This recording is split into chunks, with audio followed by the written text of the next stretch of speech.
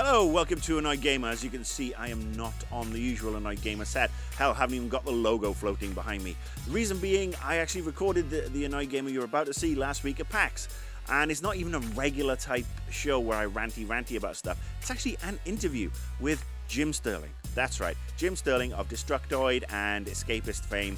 Uh, a very opinionated fellow Brit, hell of a guy, hell of a journalist. I figured it was about time the two of us got together and talked, and the world didn't end. So um, that's nice. Anyway, uh, enjoy the interview. We talk about a good few things. Jim is an excellent, excellent interview subject. And uh, I'll be back next week with a more traditional Annoyed Gamer because there is a lot of stuff bubbling inside me. None of it good. Okay, this is a special treat for you. It's also a special treat for me because, to be honest with you, I have wanted to get in front of a camera with this man for ooh, at least 18 months, almost two years. Um, Jim Sterling is on this very special PAX Annoyed Gamer spin-off episode. Jim, thank you for getting on. I mean, seriously, the amount of Thank sex that we have me. on this camera now, Yeah, now, yeah. it's mental. And this is actually uh, kind of cool because you generally don't come out to events normally. No, this is actually this is my first PAX in two years. I missed last year because I couldn't be bothered. Yeah. Uh, didn't do E3 last year. Won't be doing E3 again. Well, that's interesting. I mean, you know, the fact that you, you know, you're at now, but you made the decision not to do any more previews, and that's why mm-hmm. you've 86 E3 because it is a preview-friendly event. So, what was your thinking behind the whole? You're not going to do previews anymore because you have a big audience. You have a, you know, people who follow you, and I'm sure people want, you know, a damn good preview from you. Well, I mean, it was a number of things that kind of contributed to it. The first thing was way back with the whole Doritos Gate thing, with the whole Lauren Wainwright and Jeff Keighley and and that whole conversation about how close the press are to publishers. Yeah. And I decided I didn't want any kind of that conflict of interest. So my first decision was no more preview events where the publishers, the PR pay for your flight, pay for your hotel. I've done those things in the past and I thought now's a good time to not do that anymore. That, you know, everyone's having this conversation. It's decided people would like a bit more distance. I'd like a bit more distance, so why not? Um, so that was that for a while. I was still thinking of doing previews, still thinking of E3. Um, another big contributor was Aliens Colonial Marines, um, in which I previewed that and really liked it. I played some of the multiplayer, it was cool.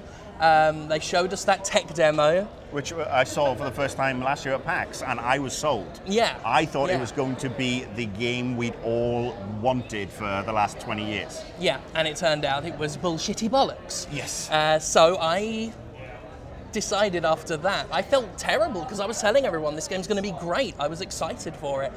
And it was.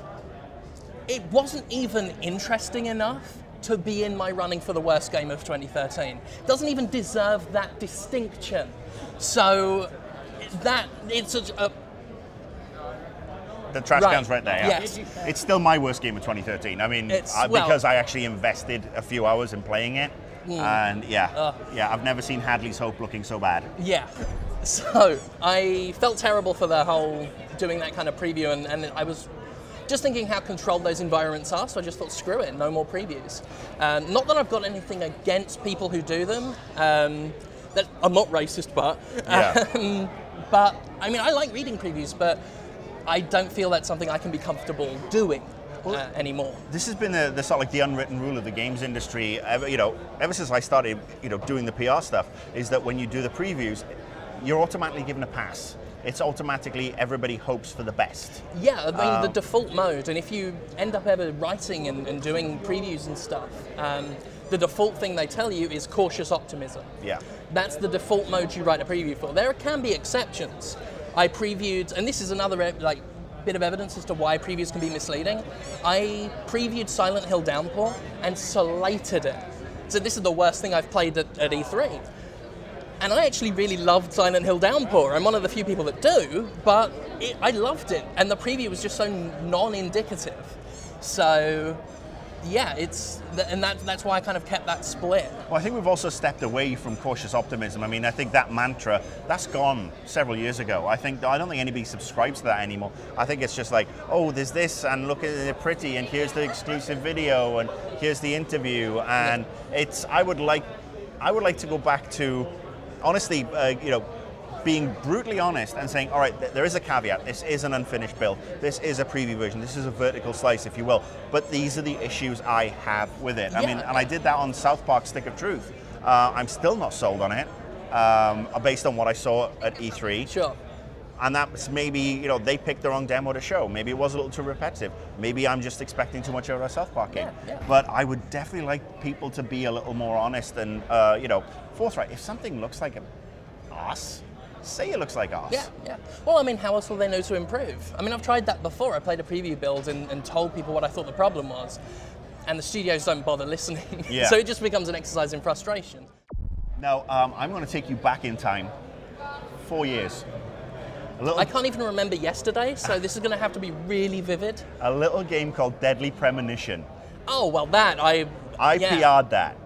Oh, awesome. and that game we had we had a two out of ten from IGN. Yep. I was like, all right, this game's gonna kill. And then you came along, and that's that's honestly when the man crush kind of developed because you got how insane and loopy. I mean, the game, yeah, game engine not so great.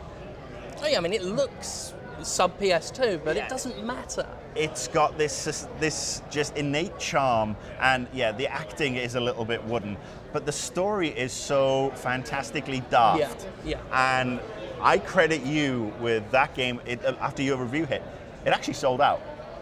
I'd heard stories. Yeah, heard it stories. sold out. It was number one on Amazon, and then we decided to spoof it with the, the Game of Year edition with the coffee cup and everything, and everybody bought into that. We never actually produced it, but yeah, I just I think it's interesting how when we're talking about we talk about previews, we talk about reviews, and how you can have two different sides of, of a coin where you've got a two out of ten on one side, and you've got a ten out of ten. Yeah. And I think And people get annoyed by that when they see a score they don't like, but I'm like, I wasn't pissed that IGN didn't like it, and I did. I mean, that was my computer desktop for a while. Yeah. Was the Metacritic when it was just me and IGN, just the two and the ten. And that was my desktop wallpaper for a while. I, I think it's interesting. It keeps the industry more interesting when people aren't agreeing on stuff. I, I mean, I actually used to be the other side of it where I was like, oh, well, I really like this game and there's no faults in it, and you gave it a seven and I would have given it a nine. You're an asshole. And I'm starting to see that that was Yeah. that was not smart, and I, I know I'm starting to step back from it because I mean, it is it's all opinion based, and that's all reviews are. Exactly. Well, the way I look at it is I'm a massive fan of Dynasty Warriors, and if I got upset every time someone gave it a negative review, I'd be the unhappiest fucker alive.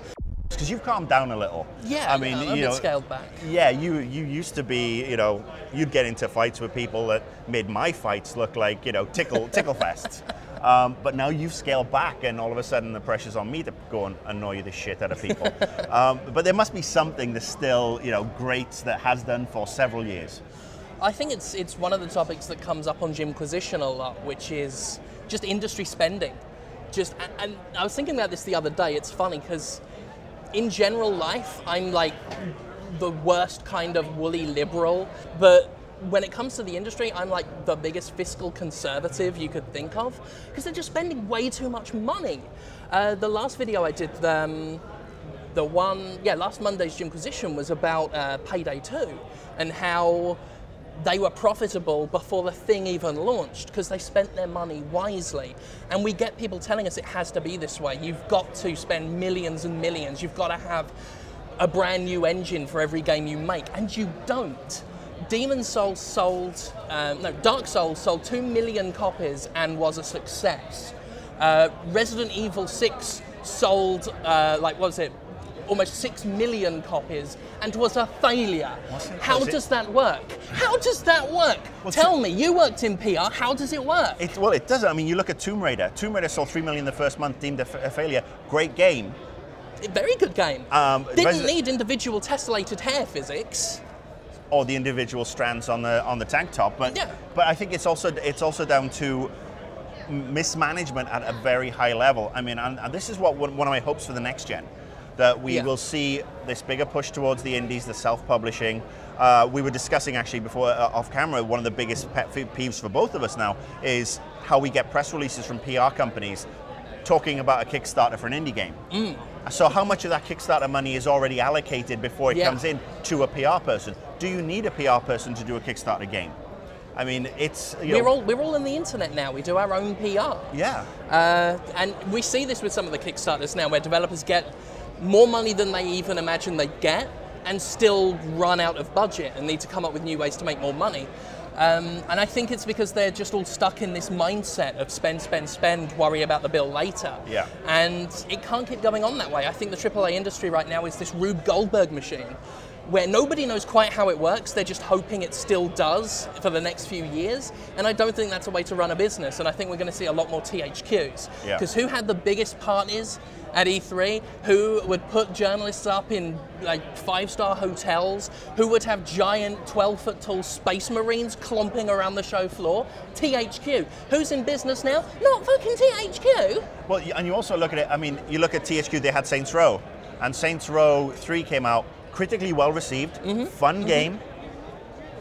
Sold enough to make it profitable for somebody, but not for THQ. Yeah. Saints Row 4 goes to Deep Silver. They have a more restrained PR and marketing From what outreach. I've heard, half the marketing budget of Saints Row the Third, double the sales Yeah, of Saints Row mi- the well, a million. They shifted a million units, sold a million units week one for Saints Row 4, Yeah. which is more than um, you know the, the previous uh, like three times I think what the original sold. So it's quality over quantity. It is. You It's don't almost need like the big if piss you budget accordingly and don't spend more money than you have. It's almost as if you make money. It's it's, It's random. incredible. I think it's this new like kind of magic that the tech priests have discovered. It's called math. Yeah. It's amazing. It's like putting away the credit card. I mean, I was I was raised not to have a credit card. It's like pay what pay as you go Mm-hmm. for what you do, what you do. And I think we're getting away from that. I think it's going to be interesting that EA is big. Are they too big to fail? Activision, are they too big to fail? I mean, those are those are the two behemoths. I like the way that Deep Silver's going uh, with you know quality over quantity. Mm-hmm. Exactly. I like the way Bethesda is going. Bethesda is yeah, they're Yeah. fantastic for it. Ubisoft, they're kind of They kind of straddle the line. Yeah. They, they really need to learn not to oversaturate stuff to the point of death. I think they're going to do to Assassin's Creed what Activision did to Guitar Hero in the end. Call of Duty, Yeah. which so they're still doing. Yeah. yeah, I mean we'll see, but I think that that's what needs to stop. Just the the extravagance of it. It's like we're in the fall of Rome right now. Just the things are crumbling and they're still ordering another five grice. Another reason why I like this guy. I mean, we're on the, we're definitely on the same wavelength. What's the one thing you're looking forward to this Christmas to, to play? Not as, you know, not as a journalist, but as Jim the gamer. Uh, this is where I'm a hypocrite and say Killzone Shadowfall, doubtless an expensive game, part of a big franchise, but I love me some Killzone. Apparently, if you believe certain areas, it's uh, pre-ordering very, very highly. I think so. I mean, I'm just I'm looking forward to the PS4 in general.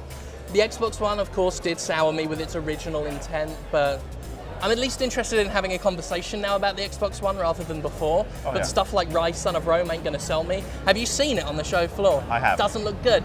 Uh, but the PS4 stuff does look pretty in- exciting. You know, we've got Second Son, Killzone, and just all the indie stuff. You know, Octodad and Don't Starve, and it's exciting to see those kinds of games get given top billing by a company like Sony. So, You're not getting excited for Gran Turismo 26? what? Gran Turismo? No. What? Yeah, exactly. Huh? I told you, Kyle. We were having the conversation earlier where he's like, "Oh, it's going to be huge on the PS3," and I'm like, "Whatever." It might be. I don't want to insult the series. It's just it's not my cup of tea. Exactly. I mean, you know, we like driving grown-up cars anyway. Yeah. All right. Thank you Oh, thank so you much. so much. This It was a pleasure. Awesome. So yeah, you can follow Jim on Twitter and check out The Escapist for Inquisition every week. It's basically like what I do, but way smarter. But I still have the sexier accent. It does have the sexier accent.